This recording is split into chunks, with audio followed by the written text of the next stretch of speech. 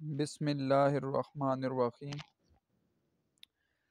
आज का जो लेक्चर है, वो फ़र्स्ट ईयर उर्दू के लिए है और हम हिस्सा शायरी में एक नज़म इन ताला आज पढ़ेंगे। वो ये शख्सियत हैं जिनकी तस्वीर आपके सामने है। शमसुलमा मौलाना अल्ताफ़ हुसैन हाली की एक नज़म जो फ़र्स्ट ईयर उर्दू में शामिल है। नज़म का नाम है उम्मीद। असल में ये नज़म जो है, ये मुसद्दस हाली, जो अल्ताफ़ हुसैन हाली की एक तवील नज़म है, उस पर अभी बात करेंगे। उसमें शामिल एक हिस्सा है, जो हमारी किताब में उम्मीद के उनवान से यहाँ पर जो है वो दर्ज किया गया है। सबसे पहले हम अल्ताफ़ हुसैन हाली की हालात ज़िंदगी देखते हैं अपनी किताब से, सफ़ा नंबर 135 पे ये मौजूद है। पैदाइश 1837 अठारह और 1914 1914 इनकी वफ़ात है। अल्ताफ़ हुसैन अली पानीपत में मशहूर जगह है हिंदुस्तान की। वहाँ पैदा हुए, बाकायदा तालीम हासिल न कर सके, तहम ज़ाती कोशिश से ख़ुद उन्होंने अरबी और फ़ारसी में महारत हासिल की। हसूल तालीम के शौक़ में वो फिर दिल्ली आ गए। जहाँ गालिब और शेफ्ता, नवाब मुस्तफ़ा ख़ान शेफ्ता से इनकी मुलाकातें हुईं। चंद साल शेफ्ता के ये दोस्त मुसाहिब रहे और गालिब के ये शागिर्द हैं। ये बड़ी अहम बात है कि जो अल्ताफ़ हुसैन हाली हैं, वो गालिब के शागिर्द हैं।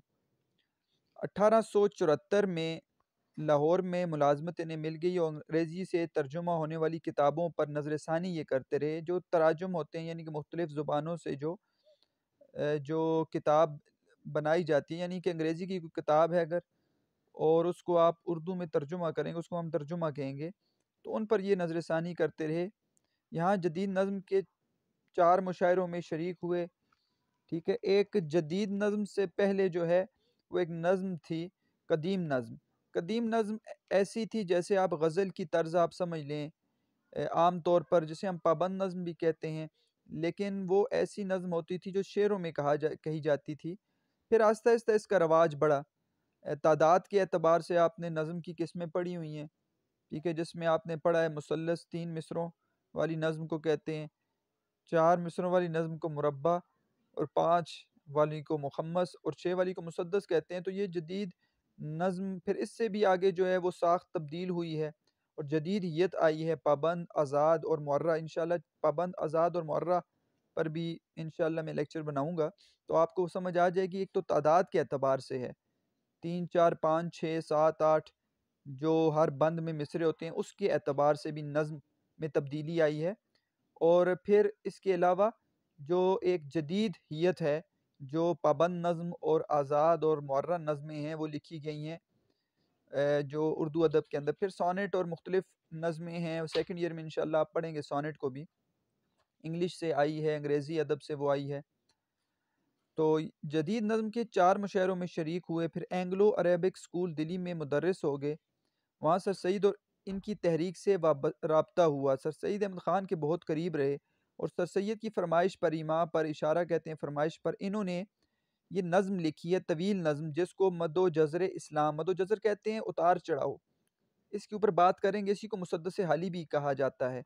एक तवील नज़म है इसके अंदर कितने बंद हैं और क्या है? और इसका पूरे का पूरा खुलासा इन मैं आप, आपके सामने थोड़ी देर के बाद रखूँगा। इसके बाद बहुत सी इन्होंने नज़में लिखी हैं और कई जदीद नज़म नगार शरा को इन्होंने मुतासर भी किया मौलाना हाली और आज़ाद दोनों की मुश्तर कोशिशों से उर्दू शायरी बहुत हद तक इन्होंने तब्दील कर दी थी और इस तरह आज़ाद और हाली ने शायरी में जो है नया रुझान पैदा किया है।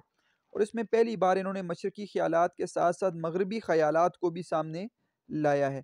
हाली ने गज़ल को भी जदीद रंग में ढाला है। गज़ल भी लिखी हैं इन्होंने, लेकिन जो मशहूर, ये जाने पहचाने मजमून नगारी के अतबार से और नज़म नगार, नज़म के अतबार से इनको जाना जाता है। और रिवायत की बेजा तकलीद के बजाय ताजगी बयान पर तवज्जो दी है। नई नई चीज़ें लाई हैं शायरी के अंदर, नए अनवानात लाए हैं, नई तर्ज, ठीक है, और नया तरीका लाया है इन्होंने शायरी के अंदर। हाल ही की गज़ल में मीर गालिब का सा तगज़ुल मिलता है। वैसी शायरी मिलती है उनकी गज़लों में, क्योंकि ये गालिब के शागिर थे, जबकि उनकी नज़में जज्ब हब्बुलवतनी और असलाह मिलत का सबूत हैं। तो नज़मों में इन्होंने जो है, वो असल में अपने वतन से मोहब्बत और असलाह जो मुसलमानों की असलाह है, आपको पता है कि मुगलिया दौर के बाद, जो अठारह सौ सतावन के बाद हिंदुस्तान ग़ुलाम की शक्ल में वो सामने आया और अंग्रेज़ों के हम ग़ुलाम बन गए। तो उन्होंने उम्मत की असलाह की अपनी शायरी के ज़रिए, जैसे इकबाल ने की है। उर्दू शायरी में पहली मरतबा अली ने कौमी, सियासी और समाजी मौजूद पर भी इन्होंने तबाह आजमाई की है। इन्होंने मुख्तलिफ़ मसाइल को अपनी नज़मों का जो है वो उनवान बनाया है और उसके ज़रिए कौम तक अपनी बात पहुँचाने की कोशिश की है। हब्बुलवतनी मोहब्बत वतन के साथ ये इनकी एक नज़म है चुब की दात, ठीक है? और निशात उम्मीद के थोड़े से अशार हम पढ़ेंगे, निशात उम्मीद। और मुनाजरा रहम इंसाफ जैसी इनकी जो नज़में, इनकी दरख्शंदा मिसालें हैं, ये इनकी बहुत ही अच्छी नज़में जो बड़ी मशहूर हुई हैं। हाल ही ने पानीपत में वफात पाई, तसानीफ़ इनकी बहुत ज़्यादा हैं, लेकिन ये जो ख़ास तसानीफ़ हैं, इनमें देख लें, मुकदमा शेर व शायरी ये तनकीद नगार भी हैं तो इन्होंने इब्तदा इनको कहा जाता है कि उर्दू अदब के पहले तनकीद नगार अल्ताफ़ हुसैन अली हैं और इनकी किताब जो है, मुकदमा शेर व शायरी तनकीद की किताब है। हयात जावेद में इन्होंने सर सैद अहमद ख़ान की हयात ज़िंदगी के ऊपर लिखी इस तरह यादगार गालिब एक इन्होंने गालिब की सवानह के ऊपर उनकी ज़िंदगी के ऊपर किताब लिखी है। हयात सादी, शेख सादी की हयात के ऊपर उन्होंने किताब लिखी है। तो ये इनकी तसानीफ़ हैं जो हमारी किताब में लिखी गई हैं। अब हम सबसे पहले मुसदस हाली का जायज़ा लेते हैं क्योंकि नज़म उम्मीद जो हम पढ़ने जा रहे हैं वो मुसदस हाली का एक हिस्सा है। हमारी किताब में कितने बंद शामिल हैं और वो क्या है उसके अंदर उनवान, वो हम बाद में देखते हैं। लेकिन सबसे पहले मुसदस हाली जो आप नाम सुनते आ रहे हैं मुसदस हाली तो ये जो किताब मेरे पास मौजूद है, अगर आपको चाहिए तो आप मुझे, मुझसे रबता करें, पी डी एफ़ में मैं आपको भेज सकता हूँ। वो किताब एक सौ सत्तर सफ़ात पर मुश्तमिल है और मैंने ख़ुद इस किताब को जब देखा तो इसमें इब्तदा में जब जो नज़म शुरू होती है मदुजर इस्लाम या मुसदस हाली इसको कहा जाता है, इब्तदा में जो इसके दो सौ छियासी, टू एटी सिक्स इनके मुसदस बंद हैं। बंद का कह रहा हूँ कि हर बंद में छः मिसरे होते हैं, आपको पता है मुसदस के अंदर। तो दो सौ छियासी मुसदस बंद शुरू में है, फिर ज़मीमा है। यानी इस असर के साथ और ज़्यादा बंद को शामिल किया गया है और इस इनके अंदर जो बंद की तादाद है मुसदस वो वन सिक्सटी टू, एक सौ बासठ है। और ये जो नज़म हम पढ़ने जा रहे हैं, उम्मीद ये ज़मीमा के इब्तदा में है। यानी कि असल जब ख़त्म होगी, फिर ज़मीमा का नाम आएगा और ज़मीमा कहते हैं कि असल के साथ और अशार को जोड़ लेना। तो ये एक सौ बासठ बंद में, इब्तदा में ये जो हमारी नज़म के जो हिस्सा, किताब में दर्ज किया गया है, ये आपको वहाँ पे ज़मीमा की इब्तदा में नज़र आएगा। उसके बाद जब ये ख़त्म होगा ज़मीमा तो अर्ज़ हाल इन्होंने पेश किया है नबी सलाम के आगे। तो इसके अंदर आपको सिक्सटी थ्री, तिरसठ अशार आपको इसके अंदर भी नज़र आएँगे। तो आपको नज़र आ रहा है कितनी तवील नज़म है। तो बंद की हैसियत में, एक बंद में अगर मुसदस की एक बंद में चार नहीं बल्कि तीन इसके अंदर शेयर होते हैं। तो मैं आपको बंद के अतबार से बता रहा हूँ कि दो सौ छियासी बंद असल में, फिर एक सौ बासठ बंद ज़मीमा में उतरे, और फिर अशार हैं इसके अंदर, जो अर्ज़ आल के अंदर इन्होंने पेश किए। तवील नज़म है कि इनकी, एक सौ सत्तर सफ़ात पर मुश्तमिल है, और सैद की फरमाइश पर इन्होंने ये नज़म लिखी है। मुसदस किस को कहते हैं? आसान है, आपने पढ़ा भी है। मुसदस जो है, वो ऐसी नज़म को कहते हैं जिसके हर बंद में छः मिसरे हों। पहले चार मिसरे उनके अंदर काफ़ी और रदीफ़ जो होता है, वो अपना होता है और फिर दो मिसरों के अंदर जो है, वो उनको हम काम काफ़ी और हम रदीफ़ कहते हैं, उनके अंदर जुदा होता है। तो ये मुसदस की हीयत होती है। मुसदस का आपने पढ़ा भी है कि कौन सी नज़म होती है और आसान है, आपके लिए मुश्किल नहीं है। मुसदस हाली पर थोड़ा देखते हैं, इस पर थोड़ी बात करते हैं, ताकि मुसदस हाली हमें समझ आ जाए, इसके अंदर है क्या है। पूरी नज़म तो नहीं पढ़ सकते, लेकिन इसका ख़ुलासा मैं आपके सामने पेश कर देता हूँ। उर्दू शायरी में मौलाना हाली का अली तरीन कारनामा इनकी तवील नज़म मद जसर इस्लाम है, जो आम तौर पर मुसदस हाली के नाम से मशहूर हुई है। ये नज़म इस कदर मकबूल हुई कि इसने मकबूलियत और शहरत के अगले पिछले तमाम रिकॉर्ड तोड़ डाले। कहा जाता है कि कई साल तक बर सग़ीर के तूल अर्ज़ में जो किताब कुरान करीम के बाद सबसे ज़्यादा शाया हुई, वो मुसदस हाली थी। बकौल सर सैद अहमद ख़ान, बेशक मैं इसका महरक हूँ, यानी कि मेरी वजह से लिखी गई, और इसको मैं अपने अमाल हसना में समझता हूँ कि जब खुदा पूछेगा कि दुनिया से क्या लाया है तो मैं कहूँगा कि हाली से मुसदस हाली लिखवा कर लाया हूँ और कुछ नहीं। तो इतनी बड़ी बात सर सईद अहमद ख़ान ने कही। मुसदस हाली मुसलमानों की बिलखसूस और हिंदुस्तान की बिलूम इस वक्त के फ़िक्री और तारीख़ी गद्दारी की दास्तान है। तो हालात जो उन्होंने देखे और जवाल देखा है मुसलमान कौम का, मुगलिया ख़ानदान का तो उसको भी पेश किया है और बड़े ही अच्छे तरीके से पूरी नज़म के अंदर उन्होंने सारी बातें बयान की हैं, उसको हम देखते हैं कौन कौन सी बातें हैं आगे चल के, जिसमें मुसलमानों ने अपने मकासद के साथ गद्दारी करके अपने लिए अपने मसख शुदा ज़मीर का दोजख खरीदा है। तो हालात क्यों आए? मुसदस अली कहते हैं, मुसलमान ख़ुद इसके ज़िम्मेदार हैं, उन्होंने अपने हालात ख़ुद अपने लिए ये ख़रीदे हैं। अगर हम नज़म, पूरी नज़म का इस मुसदस अली का फ़िक्री जायज़ा देखें नुकात के अंदर, ठीक है, पॉइंट्स के अंदर देखें तो सबसे पहली बात आपको नज़र आ रही है कि हाली ने इसके अंदर तारीखी मुताल नज़र आता है, बहुत गहरा है। तारीख की बात की, इब्तदा में आप अगर नज़म को पढ़ें तो वो इब्तदाई इस्लाम की बात है, अरब का उन्होंने सारा नक्शा खींचा है तो तारीख के ऊपर बात की है इस नज़म के अंदर कि मुसलमानों की तारीख क्या थी, मुसलमानों का उरूज और फिर जवार, ये सारी चीज़ें बयान की हैं। दूसरा जो हिस्सा है वो उसमें आप ये बात देखेंगे कि मगरबी अकवाम की असलियत, ठीक है, क्या है? जिनको हम अपना आइडियल समझते हैं ठीक है? और यूरोपियन कल्चर उसको उन्होंने सामने लाया और बताया है कि असल में मगरबी अकवाम जो है उनकी असलियत क्या है। फिर उन्होंने इस नज़म के अंदर इस्लाम का शानदार माजी बयान किया है। वो भी इस नज़म के अंदर आपको नज़म नज़र आता है। फिर इन्होंने कौम की गफलत के क्या गफलत है किस वजह से हमने अपने आ, सारे जो आ, हमारा उरूज था उसको हमने जवाल खुद बनाया है तो ये कौम की गफलत को बयान किया। इश्क रसूल को बड़ी खूबसूरत तरीके से नबी सलाम की मोहब्बत को इस नज़म के अंदर भी बयान किया है। मुसलमानों की मज़हब से रूह गर्दानी बताया है कि मज़हब को छोड़ दिया मुसलमानों ने, और तभी ये हालात आए हैं मुसलमानों पर। इसको बयान किया है इस तरह गुमराही से बचने की तलकिन नसीहत की है, और ख्वाब गफलत से बेदारी की तलकिन भी जो है वो यहाँ पर इस नज़म नज़म मदो जजर इस्लाम या मुसदस हाली में अलताफ़ हुसैन हाली ने की है। तो ख्वाब गफलत से बेदार हो जाओ, गुमराही से बच जाओ तो तुम अपना खोया हुआ मुकाम जो है, वो हासिल कर सकते हो।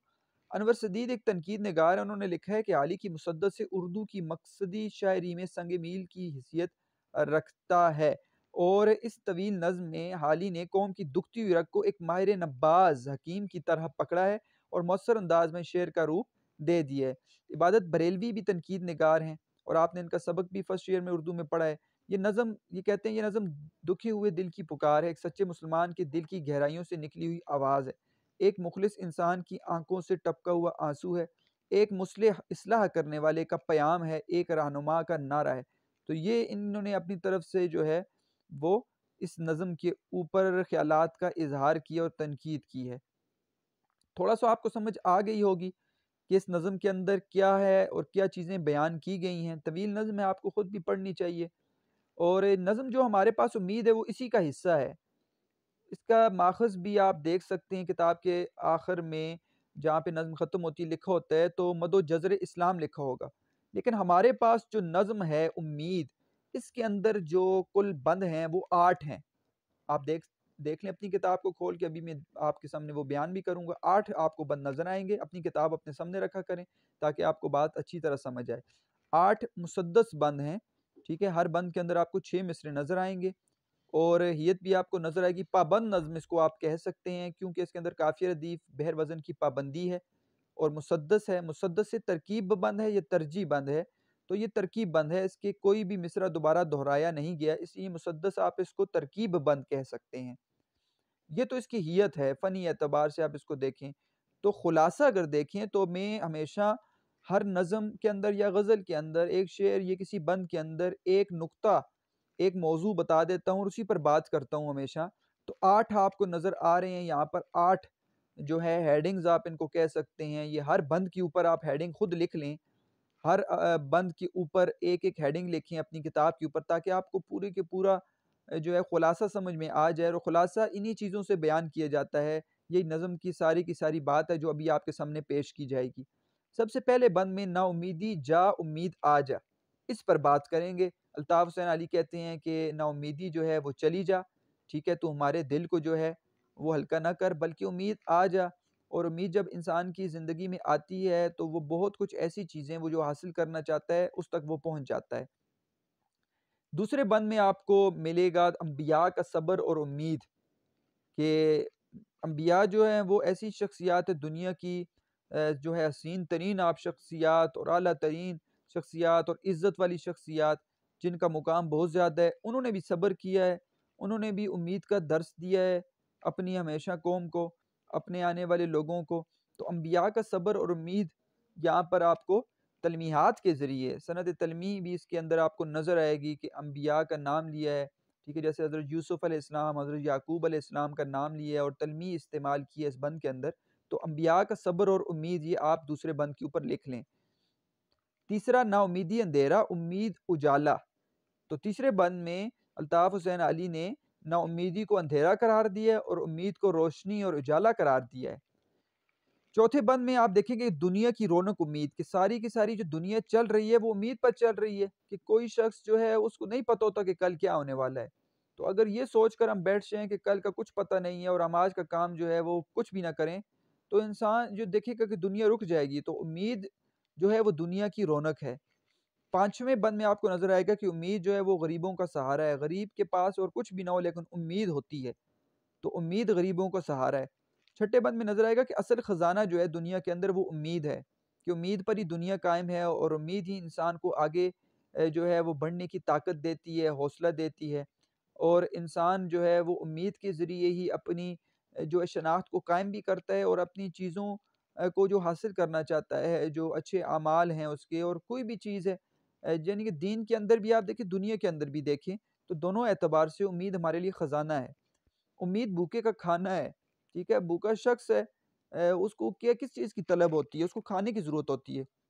तो असल में उम्मीद हमारे लिए ऐसा खाना है कि जब हम भूखे होते हैं, हम खाना खाते हैं तो उम्मीद के बगैर हम ज़िंदगी गुजार नहीं सकते। और खुशी का बायस भी उम्मीद है हमारे लिए। उम्मीद गम में सहारा है। आखिरी बंद में आप देखेंगे, गम इंसान को आ जाता है, कुछ भी पास ना हो, लेकिन उम्मीद होती है। बतौर मुसलमान, अगर हम देखें तो हमें अल्लाह ताला की ज़ात पर उम्मीद होती है। और दुनिया के अंदर आम लोग जो हैं, जो गैर मुस्लिम हैं उनको भी किसी न किसी चीज़ की उम्मीद होती है कि हम पर खुशी आ जाएगी, गम चला जाएगा। तो उम्मीद के सहारे इंसान ज़िंदगी गुजार रहे इस दुनिया के अंदर। तो उम्मीद गम में सहारा है। ये आठ उनवनात हैं। ये आठ ही आपकी हेडिंग्स भी बन सकती हैं। आप इसके ज़रिए खुलासा भी, चार कोई भी जो हेडिंग्स देकर लिख सकते हैं और यही चीज़ें आपको इन अभी नज़म के अंदर भी आपको मिलेंगी। ये एक निशात उम्मीद अभी आपने देखा था कि जो हम हालात ज़िंदगी पढ़ रहे थे, उसमें नज़म का नाम था कि निशात उम्मीद इनकी बड़ी मशहूर नज़म है। ये निशात उम्मीद भी बहुत एक तवील नज़म इसको आप कह सकते हैं। उसके कुछ अशार आपके सामने हैं। इसका उनवान भी उम्मीद ही है, ठीक है? तो हवाले के तौर पर भी आप इससे जो है, वो नज़म के जो है, वो अशार लिख सकते हैं अपनी तशरी में। अपने जो है, आप अपने मशक़ी सवाल अगर आ जाए उसके अंदर भी आप लिख सकते हैं। और इसके अलावा भी जो उम्मीद के साथ मैं आपको और भी इन जब साथ साथ हम पढ़ेंगे तो मैं और भी आपको अशार बताऊँगा जो हवाले के तौर पर आप इस्तेमाल कर सकते हैं। तो ये आप देख लें निशात उम्मीद कि ए मेरी उम्मीद, मेरी जान नवाज़ ए मेरे दिल सोज मेरे कारसाज, मेरी सिपर और मेरे दिल की पना दर्दो मुसीबत में मेरी तकिया तकियागा ऐश में और रंज में मेरी शफीक, कोह में और दश्त में मेरी रफ़ीक। काटने वाली गमे आयाम की, थामने वाली दिल नाकाम की। दिल पे पड़ा आन के जब कोई दुख, तेरे दिलासे से मिला हमको सुख। तूने न छोड़ा कभी गुर्बत में साथ, तूने उठाया न कभी सर से हाथ। जी को हो कभी अगर उसरत का रंज, खोल दिए तूने कनात के गंज। गंज खजाने को कहते हैं। तो ये देखिए, आप इसमें भी उम्मीद कई दर्स देते हुए नज़र आ रहे हैं। अल्ताफ़ हुसैन अली की ये एक नज़म है, निशात उम्मीद। अब हम अपनी किताब के उन आठ बंद को देखते हैं और इन आठ बंद के अंदर देखते हैं कि इसका मौजू तो आपको नज़र आ रहा है, उम्मीद ही है पूरी की पूरी इस नज़म का और ये हिस्सा है, उनकी किताब यहाँ पर आपको नज़र आ रहा होगा आखिर में। ये देखिए मुसदस मदो जजर इस्लाम, मुसद्दस हाली भी आप इसको कह सकते हैं। ये इसका माखज़ है और उसमें शामिल ये हिस्सा है नज़म का जिसको उम्मीद का नाम दिया गया है। तो पहला बंद आप देखें कि बस ए ना उम्मीदी, न यूँ दिल बुझा तू। झलक ए उम्मीद अपनी आखिर दिखा तू। ज़रा ना उम्मीदों की ढारस बंधा तू। फसुर्दा दिलों के दिल आकर बढ़ा तू। तेरे दम से मुर्दों में जाने पड़ी हैं, जली खेतियाँ तूने सरसब्स की हैं। तो ना उम्मीदी, चली जा और उम्मीद आ जा। देखें, आपने ख़ुद आपको नज़र आ रहा होगा, मैं अपनी किताब पर भी बाकायदा लिखता हूँ और अशार ऐसे आप लिख सकते हैं, इसको हाईलाइट कर सकते हैं। और आप ख़ुद जो है फ़नी एतबार से भी चीज़ें आप तलाश कर सकते हैं, सनतें आप देखें आपकी तमाम की तमाम सनतें फ़र्स्ट ईयर की जो आपकी निसाब का हिस्सा हैं, वो मैंने अपलोड कर दी हैं।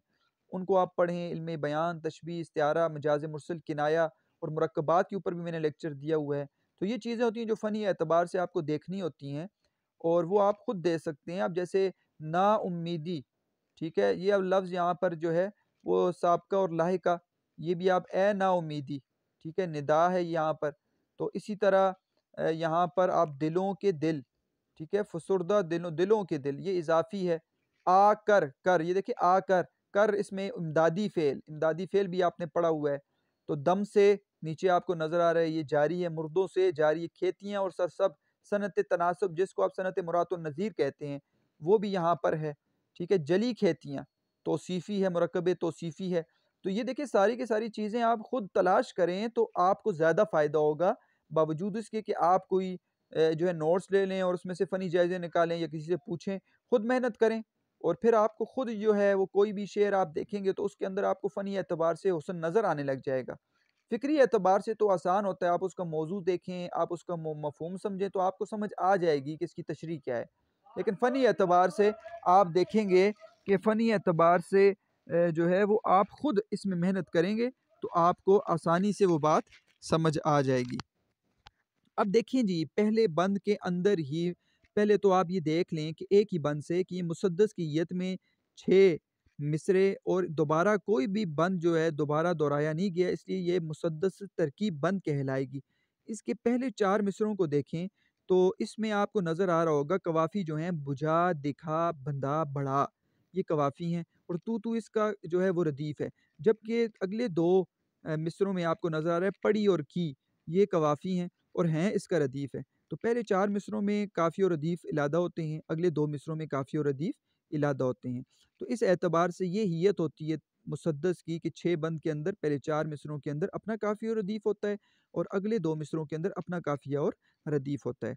अब देखें इस बंद के अंदर जो ख़ास बात है वो ये कि नाउमीदी चली जा, उम्मीद आ जा। कि शायर यहाँ पर क्या कहना चाह रहे हैं कि बस ए नाउमीदी, ना यूँ दिल बुझा दिल बुझा मुहावरा है, ठीक है? कि दिल बुझाना, यानी हमें गम में मुबतला ना कर, जो नाउमीदी होती है, वो इंसान को गम में मुबतला करती है। और यहाँ पे शायर कह रहे हैं, अल्ताफ़ हुसैन अली कि तू ए ना उम्मीद हमारे दिल को गम में मुबतला ना कर। झलक ए उम्मीद, अपनी आखिर दिखा तू। ए उम्मीद, तू आ जा, अपना नज़ारा दिखा और तेरे नज़ारे की वजह से, तेरे आने की वजह से नाउमीदी चली जाएगी। ज़रा ना उम्मीदों की ढारस बंधा, ढारस बंधाना यानी हौसला बनाना कि वो शख्स जो ना उम्मीद हो चुका है, जिसको दुनिया में ना उम्मीदी ही ना उम्मीदी है, वो कब दूर होगी कि जब उम्मीद आ जाएगी, उम्मीद उसका हौसला बढ़ाएगी तो ना उम्मीदों की ढारस बन जाएगी, उनका हौसला बन जाएगा और उम्मीद जो है, वो उनके अंदर पैदा हो जाएगी। फसुरदा दिलों के दिल आकर बढ़ा तो दिल बढ़ाना भी मुआवरतन कहा गया है। दिल बढ़ाना यानी खुशी का एहसास होना, इंसान को उम्मीद, जस्तजू की तरफ़ लगाना। फसुरदा दिल, गम ज़दा दिल, ठीक है? ऐसे दिल जो गम में मुबतला हो चुके हैं, उनके दिल आकर बढ़ा, यानी कि उनके दिल आकर बढ़ाने से मुराद ये है कि उनको आकर उनके अंदर तू खुशी पैदा कर और उनके अंदर से नौमीदी को ख़त्म पैदा कर दे तू। तेरे दम से मुर्दों में जाने पड़ी हैं, तेरे दम से मुर्दों में जाने पड़ी हैं। यहाँ पर भी आप हकीकी नहीं, मजाजी माना मुराद लेंगे। तेरे दम से मुर्दों में जाने पड़ी हैं। यानी कोई भी ऐसी चीज़ जो मुर्दा है, मिसाल के तौर तो पर इंसान है, नौमीदी में चला जाता है तो वो मुर्दा है। उसके अंदर ज़िंदगी के आसार तो होते हैं, सांस तो चल रही होती है, लेकिन उसकी जो नाउमीदी की वजह से उसका मकासद जो है, वो ख़त्म हो जाते हैं। उसका कोई मकसद नहीं होता जीने का। तो यहाँ पर कह रहे हैं, तेरे दम से किसकी तरफ़ इशारा है? इशारा है उम्मीद की तरफ़। ए उम्मीद, तेरी वजह से, तेरे दम से, तेरी वजह से मुर्दों में जाने पड़ी हैं। हर वो चीज़ जो मुर्दा हो चुकी है, उसमें तेरी वजह से दोबारा रूह जो है वो आ गई है। अब देखो, यहाँ पर हम इस तरह भी, इस एतबार से भी देख सकते हैं कि एक मतलब खेती आप उगाते हैं और आप अनाज उगाते हैं, आप सब्ज़ी उगाते हैं तो एक मुर्दा ज़मीन होती है, ठीक है? उसके ऊपर तो कुछ नहीं नज़र आ रही होता। लेकिन आप जो होते हैं नाउमीद नहीं होते बल्कि जो है वो किसान जो उसके अंदर मेहनत करता है तो वो ज़मीन जो मुर्दा होती है, उसके अंदर से आपको जानदार खेती उगती हुई नज़र आती है। लेकिन यही यही बात अगले मिसरे में कर रहे हैं, जली खेतियाँ तूने सर सब्ज़ की हैं। जली खेतियाँ, यानी कि ऐसी जगह जहाँ पर कोई भी खेती नहीं है या फिर वो बर्बाद हो चुकी है, उस पर कोई आफत आ गई है, तूने दोबारा सरसब्ज़ किए हैं तो जिस शख्स ने नाउमीदी नहीं की, जिसने हौसला नहीं आ रहा वो दोबारा जो है, उसने दोबारा मेहनत की और उसी ज़मीन को उसने सरसब्ज़ कर दिया है। तो ये सारी की सारी बात है कि नाउमीदी जो है, वो चली जाएगी और उम्मीद आ जाएगी तो उम्मीद के आने से नाउमीदी जो है, वो भाग जाती है और इंसान जो है, वो फसुर्दा दिल जो हैं, वो खुश हो जाते हैं और नाउमीद जो है, उनका हौसले बढ़ जाते हैं और इसी तरह इंसान जो मेहनत करता है उसको मेहनत में अगर कहीं पर नाकामी हो जाती है वक्ती तौर पर तो उसकी नाकामी दोबारा जो है कामयाबी में तब्दील हो जाती है। आप हवाले के अशार भी साथ साथ देखें, तू शाहीन है, परवाज़ है, काम तेरा, तेरे सामने आसमां और भी हैं। इकबाल ने क्या खूबसूरत बात की है। तो इसका मतलब ये है कि आपने मेहनत करते रहना है। इतना भी ना उम्मीद, दिल कम नज़र ना हो, मुमकिन नहीं कि शाम अलम की सहर ना हो। ठीक है? इतना भी ना उम्मीद, दिल कम नज़र ना हो, मुमकिन नहीं कि शाम अलम की सहर ना हो, कि ऐसा कोई भी शाम नहीं है, ऐसी कोई भी दिन नहीं है, ऐसी कोई शाम नहीं है, जिसके दोबारा सहर ना हो और दोबारा जो है उसके अंदर रोशनी ना हो और गम के बाद जो है वो क्या है, हमेशा इंसान को खुशी मिलती है। कुछ और बढ़ गए हैं अंधेरे तो क्या हुआ? मायूस तो नहीं है तुलुए सहर से हम। साहिल लुधियानवी का ये खूबसूरत शेर है, कहते हैं कि अंधेरे अगर बढ़ भी गए हैं तो कोई बात नहीं है। हम तुलुए सहर से जो है वो मायूस नहीं है। एक न एक दिन आएगा कि हमारी ज़िंदगी में दोबारा जो है खुशियाँ आएँगी। तो ये उम्मीद है जो इंसान को खुशी की तरफ़ लेकर जाती है। दूसरे बंद में देखें तो इस बंद का उनवान मैंने आपको बता दिया है कि अम्बिया की परेशानियों में सब्र और उम्मीद। अम्बिया ने हमेशा परेशानियों में सब्र और उम्मीद जो है वो अपनाया है और दर्स दिया है कि ए बंदों, ए ए जो उम्मती हो, ठीक है और वो आप खसूस इस्लाम के अंदर जो तमाम अम्बिया को जो है उनका, उनकी तक़दस का, उनकी इज़्ज़त का ख़्याल करते हैं और उनकी बताई हुई चीज़ों पर अमल भी करते हैं। तो वो देखें तो अम्बिया ने भी परेशानियों में सब्र और उम्मीद का दस दिया कुरान पाक का मुताला करें तो सूरह ज़ुमर की तिरपन आयत है, फिफ्टी थ्री आयत, वला तक नतु में रहमत तो कुरान भी कहता है ना कि तुम अल्लाह की रहमत से उम, नाउमीद ना हो। अल्लाह की रहमत से नाउमीद ना हो। नाउमीदी जो है वो गुनाह है। नाउमीद नहीं होना चाहिए। हमेशा उम्मीद जो है वो अल्लाह ताला की ज़ात से भी रखनी चाहिए और अल्लाह की ज़ात पर जो भरोसा रखने वाला होता है वो कभी भी नाकाम नहीं होता। तो अम्बिया का ज़िक्र किया, सबसे पहले नू इस्लाम का ज़िक्र किया, फिर याकूब इस्लाम का ज़िक्र किया, फिर जुलेखा का ज़िक्र किया और फिर यूसुफ़ इस्लाम का ज़िक्र किया, चार मिसरों के अंदर सनत तलमी के तौर पर जो है वो इस वाक़े की तरफ़ इशारा कर दिए। सफ़ीना पे नूह तूफ़ा में तू है। यानी कि सफ़ीना पे का मतलब है के लिए, ठीक है? यानी कि नू अलैहिस्सलाम की कश्ती, सफ़ीना कश्ती को कहते हैं कि तूफ़ान में नू अलैहिस्सलाम की कश्ती के लिए, ए उम्मीद, तू उसकी कश्ती के अंदर थी।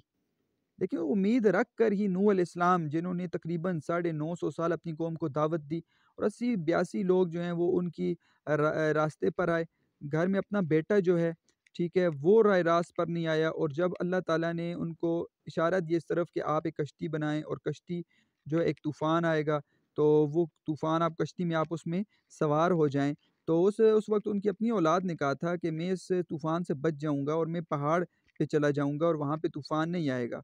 तो उस तूफ़ान उनके बेटे को ना छोड़ा, लेकिन बात यह है कि उस तूफ़ान में जो कश्ती को बचाने वाला वो अल्लाह की ज़ात है और अल्लाह ताला ने नू इस्लाम के दिल में उम्मीद डाली और उम्मीद के ज़रिए नू इस्लाम जो है उस तूफ़ान में, कश्ती में सवार हुए और वो लोग जो उनके साथ अपने थे, जिन्होंने उनकी बात मानी, उनके साथ बैठ के तो अब वो कश्ती है जो उनको पार लगाएगी। तो आम तौर पर जी कोई कश्ती है, ठीक है, इंसान बैठता है, उसको तो नहीं पता कि ये समुंदर की लहरें जो है वो उसके साथ क्या हाल करेंगी। तो इंसान तो जो है वो इस उम्मीद पर ही उस कश्ती में सवार होता है, किसी सवारी पे सवार होता है कि मंजिल पे पहुँचाने वाला तो अल्लाह ताला की ज़ात है। सुकून बख्शे याकूब कना में तू तू थी। कना जो है, ये फ़लस्तीन का शहर है जहाँ यूसुफ़ इस्लाम पैदा हुए फ़लस्तीन का शहर है, यूसुफ़ इस्लाम पैदा हुए याकूब इस्लाम हज़रत यूसुफ़ इस्लाम के वालद मोहतरम हैं। और ये पूरा जो है वाक़ कुरान पाक की सूरह यूसुफ़ के अंदर बड़े तवील के साथ जो है बयान किया गया है। और उसकी तरफ़ इशारा है कि एक वक्त था कि जब हज़रत यूसुफ़ इस्लाम को उनके जो है सतीले भाई उस साथ ले के शिकार के बहाने से और फिर उनको कुएँ में फेंक आए और घर आके उनकी कमीज़ उनके वालिद मोहतरम के सामने रख दी और कहा, इसको तो भेड़िया खा गया है और खून उसके ऊपर लगा दिया। तो अब सुकून बख्शे, उस याकूब अलैहिस्सलाम अपने जो इस बेटे से हज़रत यूसुफ़ अलैहिस्सलाम से बहुत मोहब्बत करते थे और इसी वजह से हसद की वजह से उनके भाइयों ने उनके साथ ये सलूक किया था। तो हज़रत याकूब अलैहिस्सलाम को जो सुकून बख्श रही थी कनाआ के अंदर, वो उम्मीद थी। उनको उम्मीद थी कि एक ना एक दिन जो है वो मेरा बेटा जो है वो लौट कर आएगा और उनको उम्मीद थी कि मेरे बेटे के साथ जो कुछ किया वो उनके भाइयों ने किया है। लेकिन उन्होंने उम्मीद का दामन और सब्र का दामन न छोड़ा। जुलेखा की गम खार हिजरा में तू थी। इसी सूरत के अंदर, सूरह यूसुफ के अंदर जुलेखा, जो हज़रत याकूब इस्लाम पर फ़रेफ्ता हो गई और उनकी मोहब्बत में जो है, उसका वाक़ भी ज़िक्र है कुरान के अंदर और जुलेखा जो है, फिर उसने जो है इल्ज़ाम लगा दिया हज़रत यूसुफ़ अलैहिस्सलाम पर और हज़रत यूसुफ़ अलैहिस्सलाम को कैद खाने में कैद कर दिया गया। तो वो जुलेखा जो थी, उन, उसकी गम खार हिजरा गम खार कहते हैं गम वाली हिजरा जुदाई। यानी कि जो उसकी जुदाई थी हज़रत यूसुफ़ इस्लाम से वो मोहब्बत करती थी और हज़रत यूसुफ़ इस्लाम के इश्क में वो मुबतला थी तो उस वक्त जुदाई में जो उसको उम्मीद थी वही उसके लिए थी कि वो ये समझ रही थी कि यूसुफ़ इस्लाम जो हैं वो वापस आएँगे, उसको अपना लेंगे। तो उसको भी उस जुदाई में, उस गम में जो दिलासा देने वाली चीज़ थी वो उम्मीद थी। दिल आराम यूसुफ़ की ज़िंदा में तू थी, ज़िंदा कैद खाना।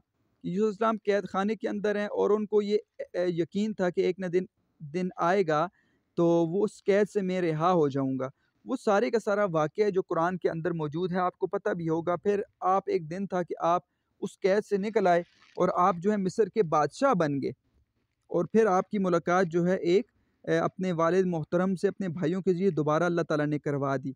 तो दिल आराम यूसुफ़ की ज़िंदा में तू थी। यूसुफ़ इस्लाम की कैद खाने के अंदर उनको पता था मेरा कोई गुनाह नहीं है, लेकिन उसके दिल को सुकून देने वाली वो चीज़ क्या थी? उम्मीद ही थी। मसाइब ने जब आन कर इनको घेरा, इनके पास जब तकलीफ़ें आईं इन तमाम लोगों के साथ पास और जितने भी अम्बिया हैं या नेक बंदे अल्लाह के, उनको मुसीबतें आईं तो सहारा वहाँ सबको था एक तेरा। तेरा ही सहारा था उम्मीद तेरी वजह से ही वो जी रहे थे। तो इस बंद के अंदर भी अम्बिया की परेशानियों में सब्र और उम्मीद को बयान किया गया है, ताकि हम इसे देखें और सनत तलमी के ज़रिए बयान किया गया है कि हम अम्बिया की ज़िंदगियों को देखें, उन्होंने कैसा सब्र किया, कैसे उम्मीद का दामन उन्होंने ना छोड़ा और अल्लाह ताला ने फिर उनको एक न एक वक्त में कामयाब किया। तीसरे बंद में देखें, बहुत डूबतों को तराया है तूने, खुशकी पर लेकर जाना, तराया, ठीक है? और बिगड़तों को अक्सर बनाया है तूने उखड़ते दिलों को जमाया है तूने, उजड़ते घरों को बसाया है तूने। बहुत तूने पस्तों को बाला किया है, अंधेरे में अक्सर उजाला किया है। तो ये देखिए नाउमीदी, अंधेरा, उम्मीद, उजाला। ठीक है, इस पर बात करेंगे हम। तो देख लें कि नाउमीदी असल में अंधेरा होती है और उम्मीद क्या है, उजाला होती है कि बहुत डूबतों को तराया है तूने। ठीक है, कि ऐसे लोग जो दुनिया के अंदर जो हैं, हर तरह के मसाइब और मुश्किल में मुबतला थे। यहाँ पर यह नहीं है कि हर बंदा डूब जाता है, ठीक है? मुश्किल के अंदर डूबना, मुआवरतन तो तराया उसके उसके मुसाइब को, उसकी तकलीफ़ों को ख़त्म किया है उम्मीद ने। तो नाउमीदी क्या है? डूबना, ठीक है? और उम्मीद क्या है? वो तराना नाउमीदी क्या है? अंधेरा। और उम्मीद क्या है? उजाला। तो ये देखिए, इस चीज़ को आप समझ सकते हैं, बिगड़तों को अक्सर बनाया है तूने। देखो, कारोबारी हालात बिगड़ गए, बंदा गुनागार हो गया, दोबारा लेकिन उम्मीद थी कि अल्लाह ताला मुझे राय रास पर लाएँगे तो उसको राय रास पर लाने वाली उम्मीद थी और कारोबार के अंदर भी जो नुकसान हो गया, उसको दोबारा ठीक करने वाली, उसको उम्मीद थी कि मैं मेहनत करूँगा दोबारा तो ये जो है हालात मेरे ठीक हो जाएँगे। तो कारोबारी हालात भी ठीक करने वाली वो क्या है? उम्मीद की वजह से ही होते हैं। उखड़ते दिलों को जमाया है तूने मैदान जंग के अंदर। अक्सर जो है वो दिल जो है उखड़ना मुहावरा है कि अब दुश्मन की तादाद ज़्यादा है, आप तादाद में कम हैं तो दिलों को जमाने वाली, दिलों को मज़बूत करने वाली उम्मीद ही होती है। उम्मीद के सारे इंसान जो है वो फिर जंगे जीतता है। उजड़ते घरों को बसाया है तूने। घरों के अंदर आप देखें, नाचाकी है, ठीक है, आपस में खफकी है और आपस में लड़ाई जो है वो हो रही है और लड़ झगड़ रहे हैं घर वाले और मीरास के मसाइल हैं और मसाइल हैं भाई भाई का दुश्मन है। तो नज़र ये आ रहा है कि घर जो हैं वो कभी नहीं बसेंगे, लेकिन उम्मीद के सहारे ही वो दोबारा जो उजड़े हुए घर हैं वो बस जाते हैं। बहुत तूने पस्तों को बाला किया है, ऐसे लोग जो जो पस्त हो गए थे, ठीक है, जो ज़िल्लत के अंधेरों में खो गए थे, उनको बाला उनको बुलंद करने वाले भी तू है, यानी कि व तो इज़्ज़ो मंतशा व तो ज़िल्लो मंतशा ऐसा बंदा जो दुनिया के एतबार से लोगों के सामने उसकी कोई इज़्ज़त ना हो, लेकिन अल्लाह ताला के यहाँ उसकी इज़्ज़त है तो वो उम्मीद के सहारे दुनिया में चलता है और एक वक्त आता है कि अल्लाह ताला उसको इज़्ज़त देते हैं। अंधेरे में अक्सर उजाला किया है, तू नहीं ए उम्मीद तेरी ही वजह से अंधेरे में अक्सर उजाला हुआ है। ये सारे के सारी जो चीज़ें वो अंधेरा थी, ठीक है? कौन कौन सी अंधेरा थी? मिसाल के तौर पर पस्ती अंधेरा, ठीक है? उजड़े घर अंधेरा, उखड़ते दिल अंधेरा, बिगड़ना अंधेरा, डूबना अंधेरा। इसके अंदर तूने उजाला लाया तिराना उजाला, बनाया उजाला, जमाया, दिलों को जमाया उजाला, घरों को बसाया, ये उजाला, और पस्तों को बाला बाला करना, ये उजाला है, ठीक है? तो यहाँ पर आपको नज़र आ रहा है कि सारे अंधेरों को उन्होंने कहा है कि उम्मीद जो है वो उजाला है और नाउमीदी अंधेरा है और उजाला जब आता है तो अंधेरा खुद ब खुद वो भाग जाता है। तो यहाँ पर आपको मुख्तलिफ़ सनतें भी नज़र आ रही होंगी, पस्तों को बाला, ये मरकब इजाफ़ी है लेकिन अंधेरा और उजाला, ये सनत तजाद है, सनत तजाद आपने पढ़ी है वो इल्म बदी की ऐसी किस्म है जिसमें दो मुतजाद चीज़ों का ज़िक्र किया जाता है। और इसके साथ भी आप अशार देख सकते हैं मुख्तलिफ़ कि मिलत के साथ रबता इस्तवार रख, पेवस्ता रह शजर से उम्मीदें बाहर रख, तूले गम हयात से घबराना ए जिगर, ऐसी भी कोई शाम है जिसकी सहर ना हो। तो ये जिगर मुरादाबादी का शेर है। इसके अलावा आप एक शेर यहाँ पर देखें, यकीन हो तो कोई रास्ता निकलता है, हवा की ओट भी लेकर चराग जलता है। नशेमन पर नशेमन इस कदर तामीर करता जा कि बिजली गिरते गिरते आप खुद बेजार हो जाए। अगला बंद देखते हैं। अगले बंद में है कि तुझसे उम्मीद की वजह से ही कह रहे हैं कि तुझसे हिम्मत है पीरो जवां की। बंदी तुझसे डारस है खुर्दो कला खुर्दो कला की। ठीक है? और तुझी पर है बुनियाद नज़म जहाँ की, ना हो तू तो रौनक न हो इस दुकान की, तगापू है हर मरहले में तुझी से, रवा रो है हर काफले में तुझी से। तो यहाँ पर बात कर रहे हैं कि दुनिया की रौनक, दुनिया की चहल पहल वो उम्मीद की वजह से है। उम्मीद ही की वजह से दुनिया का निज़ाम जो है वो चल रहा है। और दुनिया के अंदर जो भी आपको नज़र आ रहा है, दुनिया के अंदर जो भी होता हुआ और ये सारी की सारी चीज़ें दुनिया का निज़ाम वो उम्मीद की वजह से ही चल रहा है। तो पहले मिस्र के अंदर कह रहे हैं कि बंधी तुझसे हिम्मत है पीरो जवान की। ख्वा वो शख्स जवान है, ख्वा वो शख्स जो है वो बूढ़ा है और ख्वा उस वो बीमार है और ख्वा वो जो है वो तंदुरुस्त है, वो कोई भी शख्स है, तेरी ही वजह से, ए उम्मीद, वो पीरो जवां की, पीर बूढ़े को कहते हैं, पीरो जवां, ठीक है? तो यहाँ पर पीरो जवां से मुराद ये है कि हर शख्स की, कि वो ख्वा छोटा है ख्वा बड़ा है, कोई भी बंदा है, उसकी जो है, वो हिम्मत जो है, वो उम्मीद ने ही बढ़ाई हुई है। बंदी तुझसे ढारस है, ढारस हौसला। खुर्दो कला की, खुर्दो कला, ठीक है, छोटे और बड़े, खुरदो कला लफ्ज़ है, खुर्दो कला यहाँ पर है। तो छोटे और बड़े की ढारस भी, यानी कि तेरी ही वजह से उसका हौसला भी बढ़ा हुआ है। और तुझी पर है बुनियाद नज़म जहाँ की दुनिया का निज़ाम, नज़म जहाँ दुनिया का निज़ाम मरकब इजाफ़ी। तो दुनिया का निज़ाम भी तेरी ही वजह से चल रहा है। पूरी दुनिया का निज़ाम तेरी वजह से। देखिए नाउमीदी दुनिया में अगर फैल जाए तो बंदा कोई काम नहीं कर सकता। तो दुनिया की रौनक चेहर पर वो उम्मीद की वजह से ना हो तू तो रौनक, ना हो इस दुकान की। ये ऐसी दुकान है जिसमें चहल पहल तेरी जो है, तेरी वजह से है। तो ना हो तो तू तो रौनक, ना हो इस दुकान की। इस दुकान की यहाँ पर इस्तारा के तौर पर है कि दुनिया जो है वो दुकान की मानद है और इसके अंदर जो खुशी, गम, नज़र ये चीज़ें हैं। तो अगर सारी की सारी ये चीज़ें ना दुकान के अंदर अब चीज़ें नहीं हैं तो लाजमी बात है गाहक भी नहीं आते, रौनक और चहल पहल नहीं होती। इसी तरह दुनिया के अंदर अगर उम्मीद नहीं है तो चहल पहल रौनक नहीं होगी। तगापू है हर मरहले में तुझी से। हरकत, तगापू कहते हैं तगो दो, यानी दौड़ धूप करना। हरकत है हर मरहले में, हर ज़िंदगी के हर हिस्से में और वो ख्वा जवानी है, बुढ़ापा है, हर हिस्से में, तेरी वजह से ही बंदा जो है वो हरकत करता है और उम्मीद की खातर जो है वो ज़िंदगी में आगे बढ़ने के लिए वो रास्ते इख्तियार करता है। रवा रहो रवा रहो, जारी होना ये चल चलाओ है हर काफ़िले में तुझी से। ये काफ़िला जो चल रहा है, ये दुनिया मुसाफिर खाने की हैसियत रखती है और हम जो काफ़िले में आए हैं, हम सवार हैं यहाँ पर और हम मुसाफिर हैं यहाँ पर तो ये जो काफिला चल रहा है ए उम्मीद तेरी ही वजह से चल रहा है।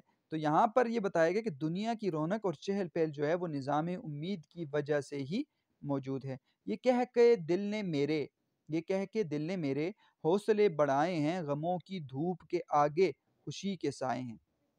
उम्मीद गरीबों का सहारा, ठीक है? और यहाँ पर आपको नज़र आ रहा है, इस बंद के अंदर भी बड़ी खूबसूरत तरीके से ये बताएँगे कि उम्मीद जो है वो जो है वो गरीबों का सवारा सहारा है। कहते हैं कि बहुत तूने जो है बेनवाओं को तूने बख्शा है, बहुत चीज़ें जो हैं जिनकी फरियाद सुनने वाला कोई नहीं है, ठीक है? जिन, जिनकी बात सुनने वाला बेनवा, जिनकी जिनकी फरियाद सुनने वाला कोई नहीं है तो ए उम्मीद कि तेरी ही वजह से नवाजा बहुत, तू, तूने ही नवाजा है उनको।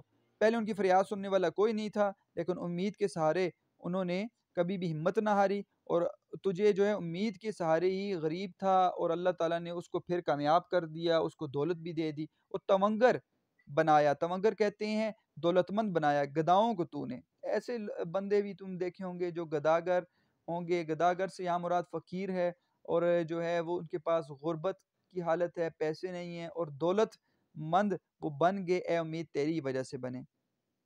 और दस्तरस नारसाओं को तूने कि ताकत नारसा कहते हैं, जो मंजिल तक पहुँच चुके हों और जो ताकत बख्शी है नारसाओं को, ठीक है, मंजिल तक पहुँचने की जो ताकत है, वो तेरी ही वजह से होती है कि एक मंजिल इंसान तय करता है दुनिया के अंदर और फिर वो ताकत है, वो उम्मीद ही उसको दिलाती है और उम्मीद ही बताती है कि तुम इस तरीके से उम्मीद रख के अपने मुकाम पर पहुँच सकते हो।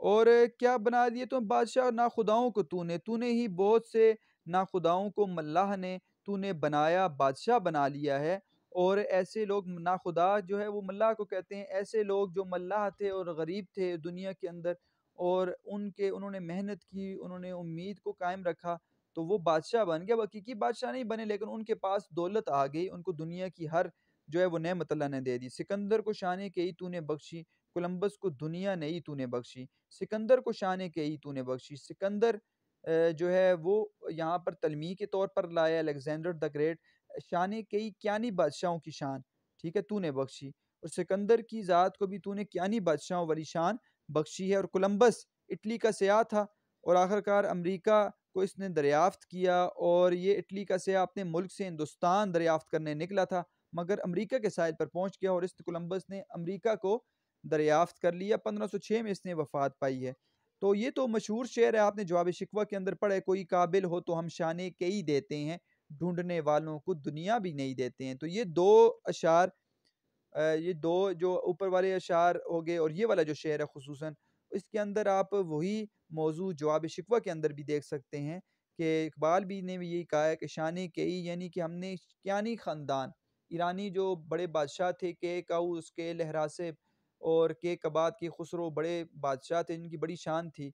और उनको हमने, अल्लाह ताला कहते हैं कि हमने काबिल हों तो हम हम हर शख्स को क्यानी ख़ानदान जैसी शान बख्शते हैं और ढूँढने वालों को दुनिया भी नहीं बख्शते हैं कि कोलंबस को हमने अमेरिका पहुँचा दिया और वहाँ पर उसने अमेरिका दरियाफ्त कर दिया। तो सिकंदर को शान कई तूने बख्शी। सिकंदर का ज़िक्र, शान कई का ज़िक्र, कई क्यानी ख़ानदान का ज़िक्र, कोलंबस का ज़िक्र, ये सनद तलमी की तरफ़ इशारा है। वो राह रव नहीं रखते जो कोई सा, सामा राह रव कहते हैं रास्ते पर चलने वाला। ऐसे लोग जो रास्ते में जा रहे हैं और मंजिल पे पहुँचने उनके पास कुछ भी नहीं है। तो उनके लिए उम्मीद क्या है? तो इस बंद के अंदर बताएँगे उसके लिए उम्मीद ख़जाना है ठीक है? और ज़ादो राह भी उनके पास नहीं है। ज़्यादा राह उनके पास नहीं है खर्च भी नहीं है रास्ते का। और उनसे उनका दामा उनका आंचल जो है वो खाली है। ना उनके पास कोई समा है, ना उनके पास ज़्यादा राह रास्ते का खर्च है और ना कोई साथी है जिससे मंजिल हो आसान, उनके साथ कोई दोस्त है, ना उनका कोई महरम है उनके साथ, ठीक है? महरम कहते हैं जिससे पर्दा ना हो, जो सुने दर्द पिनहा, उसका पोशीदा दर्द सुने, यानी कोई राजदान भी उसके साथ नहीं है, कोई भी नहीं है। इंसान अकेला है, लेकिन क्या है जी? उसके पास उम्मीद है और असल ख़जाना जो है वो उम्मीद है तेरे बल पे खुश खुश हैं, इस तरह जाते कि जाकर ख़जाने हैं, अब कोई पाते तो असल ख़जाना तो उनके पास उम्मीद है।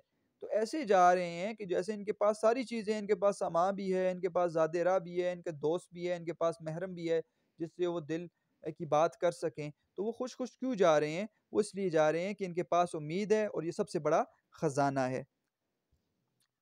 इसी तरह अगले बंद में देखें कि उम्मीद भूखे का खाना है कि जब कोई जोतने को, जब उठता है, जोता कि हल चलाता है कोई शख्स, ठीक है?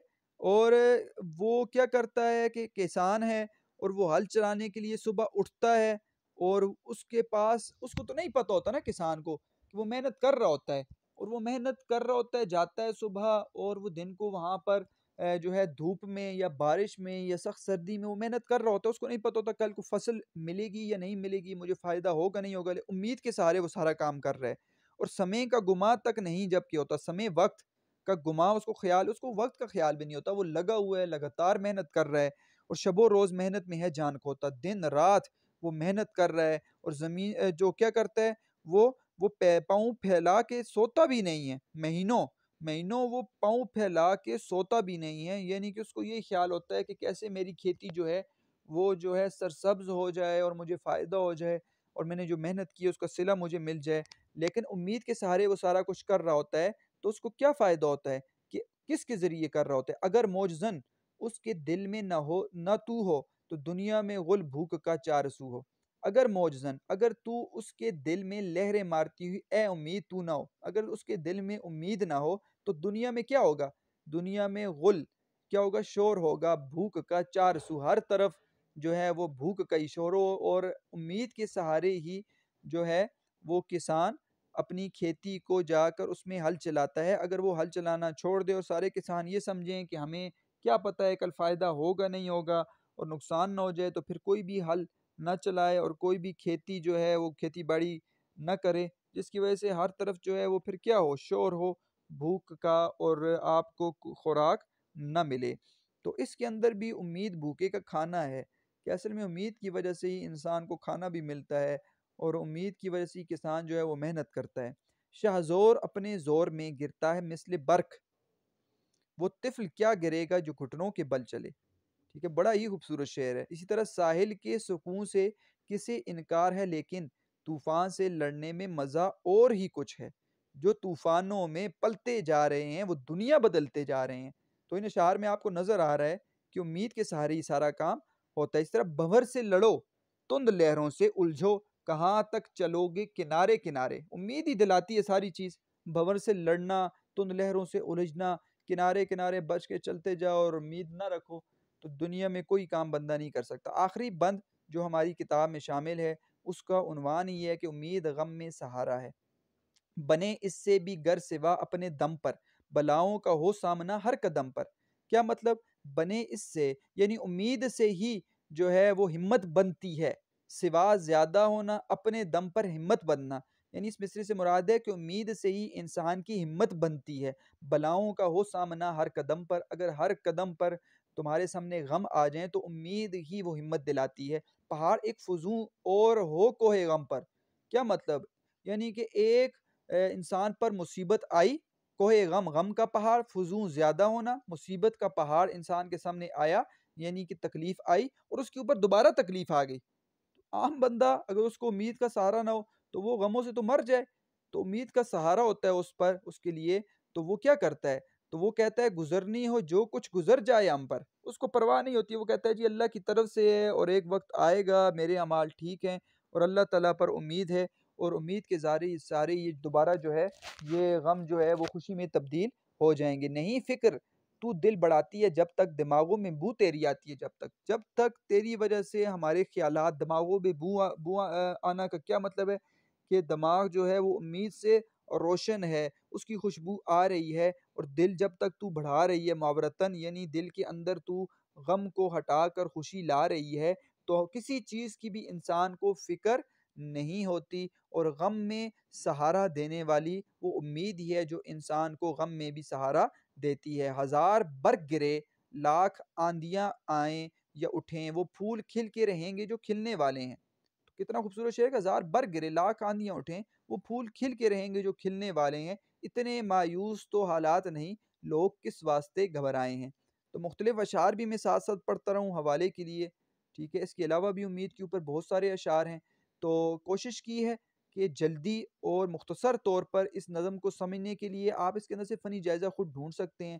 फ़िक्री एतबार से इसको हल किया है और इसी तरह सवाल नंबर एक बता दिया मैंने आपको कि मुसदस नज़म क्या होती है। दूसरे बंद में आपको आपके सामने मैंने बयान कर दिया हज़रत यूसुफ़ अलैहिस्सलाम की बात थी, हज़रत याकूब अलैहिस्सलाम की बात थी, ज़ुलेखा की बात थी और हज़रत नूह अलैहिस्सलाम की बात थी। ये दूसरे बंद की वजाहत थी और नज़म उम्मीद का ख़ुलासा हमने पॉइंट्स में देख लिया और इसके अलावा मुतज़ाद अल्फाज एक जगह मैंने आपको बताया और आप बाकी ख़ुद तलाश करें, तलमी बता दिया आपको और ये तलमी और मजाज मुरसल, ये हमने इलादा जो है वो पढ़ भी लिया है ग्रामर के हिस्से में, इलादा लेक्चर्स हैं, अगर आप वो देखना चाहें तो यूट्यूब पर आपको नज़र आएँगे इल्म बयान में मजाज मुरसल और सनत तलमी को भी मैंने वहाँ पर पढ़ा दिया है।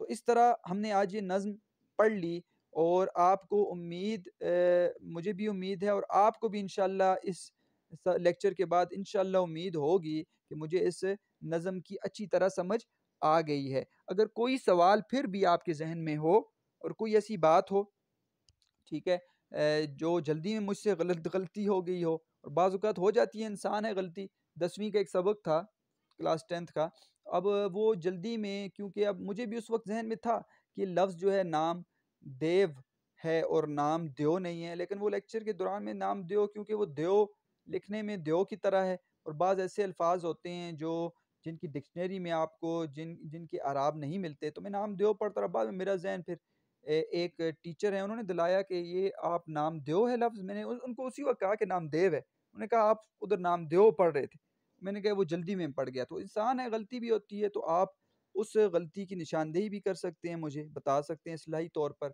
और कोई बात फिर भी हो आप मुझसे पूछ सकते हैं और मेहनत करते रहना है। अल्लाह ताला आपको खुश रखें सलामत रहें। वसलाम